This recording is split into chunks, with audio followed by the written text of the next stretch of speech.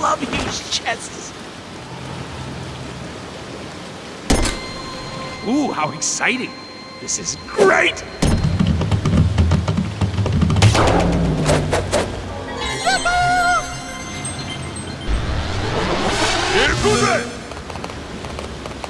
Enough already!